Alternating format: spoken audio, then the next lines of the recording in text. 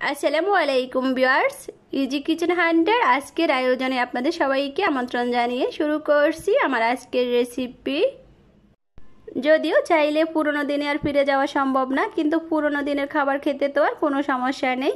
তাহলে ফ্রেন্ডস বুঝতেই পারছেন আমার আজকের রেসিপি পুরনো দিনের খুবই পরিচিত একটি খাবার, কাচকি মাছের পাতুরি। চলুন দেখে নেই এর পুরো প্রস্তুত প্রণালী। আজকে পাতুরি তৈরির জন্য আমি এখানে নিয়েছি লাউ পাতা। মূলত পাতুরি তৈরি করা হতো কলা পাতায়। তো কলা পাতা এখন আর সব জায়গায় অ্যাভেলেবেল না, তাই আমি এখানে লাউ পাতা নিয়েছি তাছাড়া লাউ পাতা দিয়ে পাতুরি তৈরি করলেও খেতে কিন্তু মন্দ হয় না, শুধু ফ্লেভারের দিক থেকে একটু এদিক ওদিক হয়। এখানে নিয়েছি আজকে রেসিপির মূল উপকরণ কাজকি মাছ। কাজকি মাছ যদিও কেটে নেওয়া ঝামেলা নেই, কিন্তু কাজকি মাছ অবশ্যই একটি একটি করে তবে বেছে নেবেন এতে করে আর এতে ময়লা থাকার কোনো সম্ভাবনা থাকে না। এখন চলে যাব রান্নার সেকেন্ড স্টেপে শুরুতে অ্যাড করে দিচ্ছি পেঁয়াজ। এখানে লক্ষ্য করলে বুঝতে পারবেন আমার এখানে পেঁয়াজগুলো ঠিক বাটাও না, আবার কুচানোও না।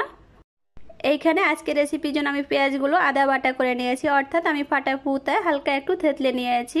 একদম মিহি করে ফেস্ট করিনি। এখন অ্যাড করে নিচ্ছি জিরা বাটা। আমার এখানে জিরা বাটার পরিমাপ ছিল এক চা চামচ পরিমাণ। এখন দিয়ে দিচ্ছি রসুন বাটা। আমার এখানে রসুন বাটার পরিমাপ ছিল এক টেবিল চামচ পরিমাণ। এখন দিয়ে দিব কাঁচামরিচ বাটা। আমি এখানে পাঁচ থেকে ছয়টি কাঁচামরিচ বেটে নিয়েছি। তো আপনাদের কাঁচামরিচে যদি জাল বেশি হয়, সেক্ষেত্রে তিন থেকে চারটি ব্যবহার করবেন। এখন অ্যাড করে নিচ্ছি ধনিয়া গুঁড়ো, এক চা চামচ পরিমাণ। এখন দিয়ে দিচ্ছি মরিচ গুঁড়ো, আধা চা চামচ পরিমাণ। এখন দিয়ে দিচ্ছি দু চা চামচ পরিমাণ হলুদ গুঁড়ো। কাঁচকি মাছ রান্নায় হলুদ গুঁড়োর পরিমাণটা একটু বেশি লাগে। এখন দিয়ে দিচ্ছি এক চা চামচ পরিমাণ লবণ। তো এইখানে লবণ আপনারা আপনাদের স্বাদ অনুযায়ী অ্যাড করে নেবেন। আমি আমার স্বাদ অনুযায়ী অ্যাড করে নিয়েছি। এখন অ্যাড করে নিয়েছি সর্ষের তেল। আমি এখানে দুই থেকে আড়াই টেবিল চামচ পরিমাণ সর্ষের তেল অ্যাড করে নিয়েছি। পাতুরি রান্নার ক্ষেত্রে অবশ্যই চেষ্টা করবেন সর্ষের তেল অ্যাড করে নিতে। কিন্তু কারও হাতের কাছে যদি সর্ষের তেল একান্তই না থেকে থাকে, সেক্ষেত্রে রান্নার সয়াবিন তেলও ব্যবহার করতে পারেন। কোনো সমস্যা নেই। কিন্তু ফ্লেভারের দিক থেকে একটু হেরফের হতে পারে, এই যা। এখন একটা স্প্যাচুলার সাহায্যে সবগুলো উপকরণ একসাথে খুব ভালোভাবে মিলিয়ে নিচ্ছি। এখানে মিলিয়ে নেওয়ার কাজটি আপনার ইচ্ছে করলে হাতে সাহায্য করে নিতে পারেন, কোনো সমস্যা নেই। মাছ অ্যাড করার পূর্বে অবশ্যই চেষ্টা করবেন মশলাগুলো এভাবে খুব ভালোভাবে মিলিয়ে নিতে। তো মশলা মিলিয়ে নেওয়া হয়ে গেলে অ্যাড করে নিয়েছি মাছ। মাছ অ্যাড করা হয়ে গেলে এখন আবারও স্প্যাচুলার সাহায্যে মাছের সাথে মশলাগুলো মিলিয়ে নিচ্ছি। যেহেতু কাশকি মাছ একটু নরম টাইপের থাকে, তাই এখানে খুব বেশি একটা চেপে চেপে মাখিয়ে নেওয়ার প্রয়োজনে একটু আলতো হাতে মাখিয়ে নেওয়ার কাজটি করে নিতে চেষ্টা করবেন। তো সবগুলো উপকরণ মাখিয়ে নেওয়া হয়ে গেলে এখন আমি উপর থেকে ডাকুন দিয়ে রেখে দেব পাঁচ মিনিটের জন্য। এখানে খুব বেশি সময় ধরে মাখিয়ে রাখার প্রয়োজনে পাঁচ মিনিটের মতো রাখলেই চলবে। তো এদিকে আমি আগে থেকে চুলে একটি প্যান বসিয়ে নিয়ে তাতে অ্যাড করে নিয়েছি লাউ পাতা। তো লাউ পাতাগুলো আমি হালকা একটু চেকে নেব। এভাবে লাউ পাতাগুলো হালকা একটু সেঁকে নিলে সেক্ষেত্রে ফোল্ড করতে সুবিধা হয়। অর্থাৎ ফোল্ড করতে গেলে লাউ পাতাগুলো আর ছিঁড়ে যাওয়ার সম্ভাবনা থাকে না। তাই অবশ্যই লাউ পাতাগুলো এভাবে হালকা একটু বাফে সেঁকে নেওয়ার চেষ্টা করবেন। আপনাদের বোঝার সুবিধার্থে আমার এখানে লাউ পাতা চেকে নেওয়ার কাজটি পুরোপুরি দেখিয়ে দেওয়ার চেষ্টা করছি। অল্প কিছুক্ষণ পর লক্ষ্য করলে বুঝতে পারবেন আমার এখানে লাউ পাতাগুলো শুরুর দিকে যেমন ছিল, এখন আর তেমনটি নেই। অর্থাৎ এগুলো অনেকটাই নেতিয়ে গেছে। এ অবস্থায় আমি লাউ পাতাগুলো ফ্যান থেকে উঠিয়ে নিচ্ছি এখানে অবশ্যই লাউ পাতাগুলো চুলারা স্লোতে রেখে তবে ছেঁকে নেবেন। তো এখন লাউ পাতাগুলো ঠান্ডা হয়ে গেলে তার ভেতরে আমি মাছ অ্যাড করে নিয়েছি। মাছ অ্যাড করা হয়ে গেলে লাউ পাতাটি চারপাশ থেকে ফোল্ড করে নিয়েছি। তো এখানে ফোল্ড করার কাজটি যার যার সুবিধা মতো করে নেবেন। তো আমি আমার পদ্ধতিটি আপনাদেরকে দেখিয়ে দিচ্ছি। তো আমার এখানে যেহেতু লাউ পাতাটি ছোট, তাই আমি উপর থেকে আরও একটি লাউ পাতা অ্যাড করে নিচ্ছি। তবে আপনারা যদি বড় সাইজের লাউ পাতা নিয়ে থাকেন, সেক্ষেত্রে একটি নিলে চলবে। কথা বলতে বলতে আমি দ্বিতীয় লাউ পাতাটিও চারপাশ থেকে মুড়িয়ে নিয়েছি। এখন আমি একটি সুতা দিয়ে চারপাশ থেকে বেঁধে নেব। বেঁধে নেওয়া বলতে এখানে সুতাটি খুব বেশি একটা টেনে টেনে বেঁধে নেওয়ার প্রয়োজন নেই। চারপাশ থেকে হালকা একটু পেঁচিয়ে নিলে চলবে। তো এইভাবে করে আমি বাকি মাছগুলো লাউ পাতায় মুড়িয়ে নেব। আমি আপনাদেরকে একটি দেখিয়ে দিয়েছি, বাকিগুলো আমি অফ স্ক্রিনে করে নিয়েছি। এদিকে আমি চুলে একটি ফ্যান বসিয়ে নিয়ে তাতে অ্যাড করে নিয়েছি তেল। এখানে তেলের পরিমাণটা খুবই সামান্য হবে। আমি প্রায় এক টেবিল চামচের মতো তেল অ্যাড করে নিয়েছি। এখন এক এক করে লাউ পাতায় পেঁচিয়ে নেওয়া মাছগুলো প্যানে অ্যাড করে নেব। তো এই পর্যায়ে আপনাদের প্রতি একটি অনুরোধ থাকল, আমার ভিডিওটি যদি ভালো লেগে থাকে তাহলে প্লিজ একটি লাইক দেবেন। সেই সাথে চ্যানেলটি সাবস্ক্রাইব করে পাশেই থাকার অনুরোধ রইল।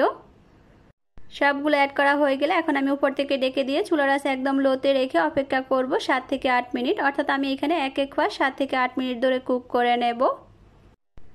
ফিরে এলাম আরও প্রায় সাত থেকে আট মিনিট পর। এরই মাঝে আপনারা লক্ষ্য করলে বুঝতে পারবেন আমার এখানে অনেকটাই পানি বের হয়ে এসেছে। এই পর্যায়ে আপনাদেরকে আরেকটি বিষয় বলে দিচ্ছি। আপনারা লক্ষ্য করলে বুঝতে পারবেন আজকে রান্নায় আমি কোনো প্রকার পানি অ্যাড করিনি। আর এই রান্নায় কোনো প্রকার পানি অ্যাড করার প্রয়োজনও নেই। তাছাড়া এই রান্নার মূল বিশেষত্বগুলোর একটি হচ্ছে রান্নাটি সম্পূর্ণ পানি ছাড়াই করা হয়। তো কথা বলতে বলতে লক্ষ্য করলে বুঝতে পারবেন, আমার এখানে পাতুরিগুলো এক পাশ উল্টি আমি অন্য পাশ করে নিচ্ছি। তো এক পাশ উল্টি অন্য পাশ করে দেওয়ার ফাঁকে লক্ষ্য করলে বুঝতে পারবেন, আমার এখানে পাতুরিগুলো দেখতে এখনই কতটাই আমি দেখাচ্ছে। সবগুলো পাতুরি উল্টিয়ে নেওয়া হয়ে গেলে এখন আবারও উপর থেকে কভার করে দিয়ে অপেক্ষা করব আরও সাত আট মিনিট। আর এই কতক্ষণ অবশ্যই চুলার আছে একদম লো ফ্লেমে রেখে দিতে হবে। মূলত পুরোনো দিনে এই রান্নাটি করা হতো কয়লার আগুনে। তো আপনারা কেউ ইচ্ছে করলে কয়লার আগুনে এই রান্নাটি করে নিতে পারেন। ফিরে এলাম আরও প্রায় সাত আট মিনিট পর। এখন আমি আপনাদেরকে ডাকুন তুলে দেখিয়ে দিচ্ছি আমার এখানে পাতুরিগুলো দেখতে কেমন হয়েছে। এরই মাঝে লক্ষ্য করলে বুঝতে পারবেন আমার এখানে প্যানের চারপাশে পানিগুলো অনেকটাই শুকিয়ে গিয়েছে, কিন্তু সম্পূর্ণ শুকিয়ে যায়নি। এখন আমি চুলার একটু বাড়িয়ে দিয়ে অপেক্ষা করব আরও তিন চার মিনিট, অর্থাৎ পানিগুলো সম্পূর্ণ শুকিয়ে যাওয়া পর্যন্ত।